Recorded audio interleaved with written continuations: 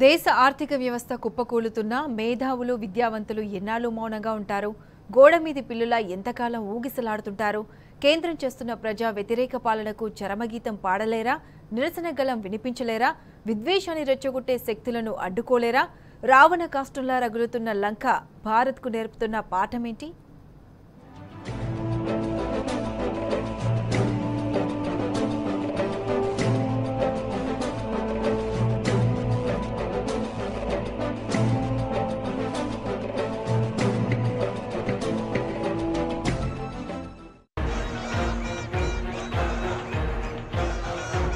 పొరుగు దేశం శ్రీలంక రావణ కాష్టంలా మండుతోంది. దేశాన్ని దివాళా తీసిన ప్రభుత్వంపై ప్రజలే తిరుగుబావుట ఎగురవేశారు. అధ్యక్షుడు రాజీనామా చేయాలంటూ నిరసనల హోరు కొనసాగుతున్నారు.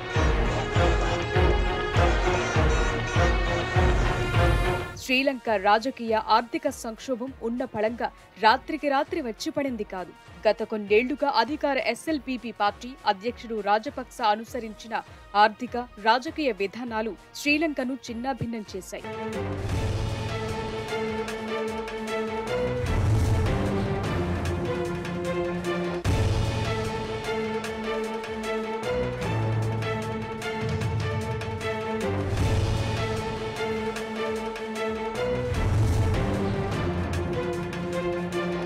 రెండేళ్ళ క్రితం ఇదే అధ్యక్షుడు గొటబయ్య రాజపక్సను మెజార్టీ ఓట్లతో గెలిపించుకున్నారు లంక ప్రజలు.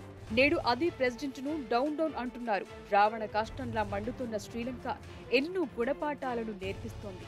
మెజార్టీ ప్రజలైన సింహళీయులు బౌద్ధిస్టుల క్షేమం కోసమే పనిచేసిన రాజపక్స ప్రభుత్వం మైనార్టీ క్రిస్టియన్లు శ్రీలంక తమిళులను పట్టించుకోలేదు.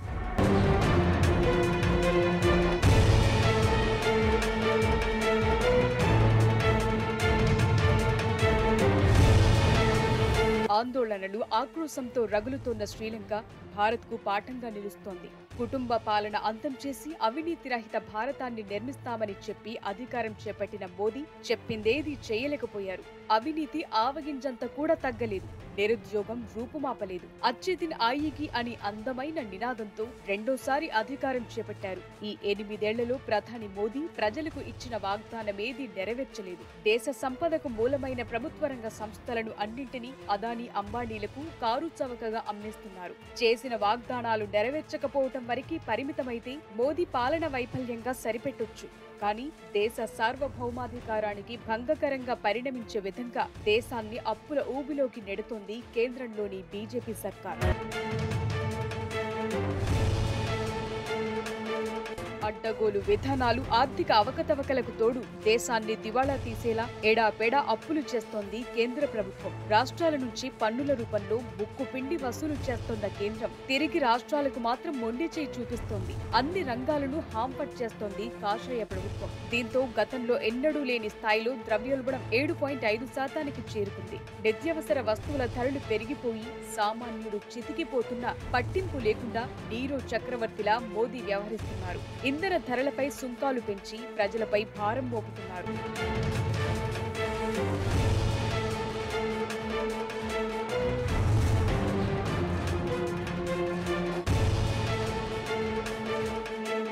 దేశం రోజుకో వివాదంతో విద్వేషం ప్రకంపనలు సృష్టిస్తోంది. కశ్మీర్ నుంచి కన్యాకుమారి దాకా అసహనం విస్తరిస్తోంది. మతోన్మాదం కోరలు చాస్తోంది. ఒక చోట హిజాబ్ మరో చోట హలాలంటూ ప్రజల మధ్య సోదర భావాన్ని దెబ్బతీస్తూ సమాజంలో విచ్ఛిన్నం తీసుకొస్తున్నారు. లౌడ్ స్పీకర్లు జెండాలు ర్యాలీలు అంటూ ఉమ్మడిగా జీవిస్తున్న జాతిలో వైరం పెంచుతున్నారు. ఫేక్ న్యూస్ను సోషల్ మీడియాలో పోస్టు చేస్తూ విద్వేషాలను పెంచుతున్నారు. చదువుకోని వారితో సమానంగా చదువుకున్న వారు కూడా మూర్ఖంగా ప్రవర్తిస్తూ విద్వేషంతో వితండవాదం చేస్తున్నారు.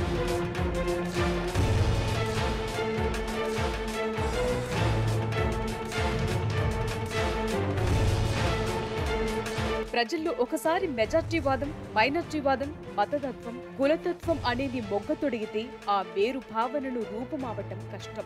మైనార్టీలపై విషం చెబుతూ అధికారాన్ని సుస్థిరం చేసుకోవాలని చూస్తున్న ఈ మతోన్మాద శక్తుల దాడులు ఇక్కడితో ఆగుతాయా అంటే లేదు. ఈ శక్తులు రాబోయే కాలంలో సమాజంలోని అన్ని వర్గాలపైన దాడిని ముమ్మరం చేస్తాయి. మైనార్టీల ఆహారంపై వేషధారణపై ఏ విధంగానైతే ఆంక్షలు విధిస్తున్నాయో ఆచారాలు కట్టుబాట్లపై విద్వేషాన్ని చిమ్ముతున్నాయో రేపు మిగతా మతాలు వర్గాలపైన అదే తరహాలో విరుచుకుపడే అవకాశం లేకపోలేదు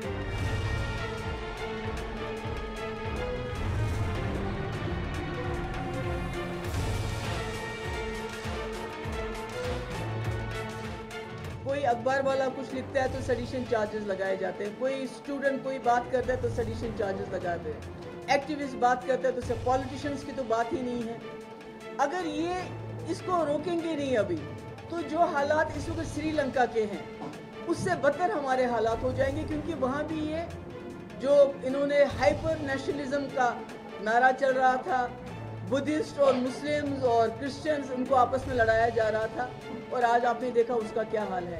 तो मैं उम्मीद करती हूँ कि अभी हमारे मुल्क में जो लोग, जो सरकार में बीजेपी, ये होश के नाखून लेगी they will, you know, learn a lesson from what is happening in Sri Lanka.